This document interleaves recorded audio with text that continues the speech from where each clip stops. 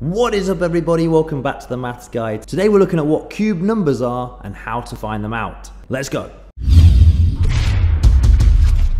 Okay, so our tip for today is that a cube number, all we need to do is multiply the number by itself three times.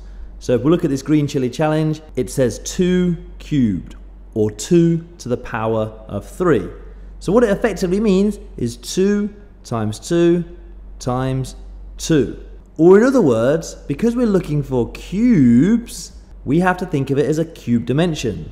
So we could say we have a square here, which would have a height of 2 and a base of 2, or length and width, however you want to think of it. But in this case, we're thinking of cubes. So we need to make this square into a cube by turning it into the three dimension. So because it now has a third dimension, it has a depth, and the depth would be 2 as well.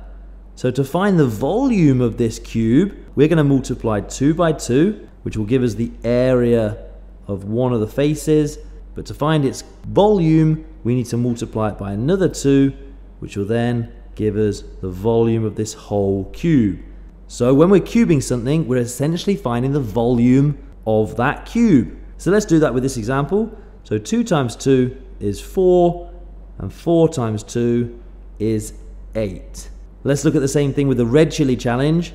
This time we have 6 cubed. So we have 6 times 6 times 6. Or in other words, we have a cube whose lengths are all 6.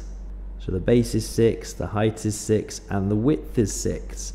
So to find its volume, I would need to multiply all of these together, and 6 times 6 is 36, and 36 times 6 is a whopping 216. So 6 cubed equals 216. Or in other words, the volume of a cube whose lengths are 6 is 216 whatever units you're using, centimeters cubed or meters cubed or whatever. So it's as simple as that. Finding cube numbers is really easy as long as you can do the multiplications. And of course, for the big ones, we can always just use a calculator to help us. So what do we need to remember? A cube means to multiply a number by itself three times. It's the same as finding the volume of a cube. So have a go yourself. Here are two questions to work on, a green chili challenge and a red chili challenge. Have a go at finding out what the answer to these questions are and put your answers in the comment section. I'm going to make sure I mark them all. That's it. That's as simple as this lesson needs to be.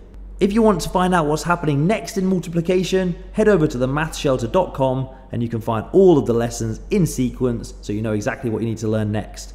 But for now guys, thank you very much for watching. See you in another video. Peace out.